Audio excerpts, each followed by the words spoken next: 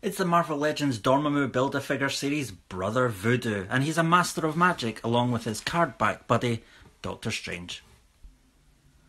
Dr. Jericho Drumm is really looking good here. He just looks amazing, I think. I love the sash, it's really gestural, raggedy, really lends that air to the character, and just all over, I think it looks great. He comes with his magic staff with two sort of voodoo heads flying off it and a blue energy effect. Looks great. This new figure is essentially a re-release of the San Diego Comic-Con Book of the Vishanti Doctor Voodoo, and yeah, it does have a different enough paint scheme and it's a different costume for the character, so it warrants a re-release. It's pretty great.